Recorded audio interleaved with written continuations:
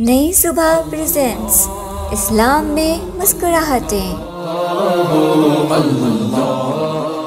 उम्मुल मोमिनीन हज़रत आयशा सिद्दीक़ा रज़ी अल्लाह अन्हा बयान करती हैं कि जब रसूल अकरम सल्लल्लाहु अलैहि वसल्लम उम्मुल मोमिनीन हज़रत सफ़िया रज़ी अल्लाह अन्हा से शादी करके मदीना मुनवरा तशरीफ़ लाए तो मेरे पास अंसारी खवतिन आई और मुझे इस बात से आगाह किया। मैंने जब ये सुना तो मेरी हालत दीगर गुम हो गई। मैंने लिबास बदला और मैं हज़रत सफ़िया रज़ी अल्लाह अन्हा को देखने के लिए निकल गई। मैं जब वापस आ रही थी तो रसूल अक्रम सल्लल्लाहु अलैहि वसल्लम ने मुझे मेरी आँखों से पहचान लिया। फिर आप मेरी तरफ़ मुतवज्जे हो गए। मैं तेज़ी के साथ चलने लगी। आपने जल्दी से आकर मुझे सीने से लगा लिया और खुश तबी के साथ फरमाने लगे, कैफा रई थी अपनी सौकन सफिया को तुमने कैसा पाया? मैंने भी ऐसे ही जवाब दिया, अरसिल यहूदीयतुन वसता यहूदियातिन। छोड़िए, यहूदियों के दरमियान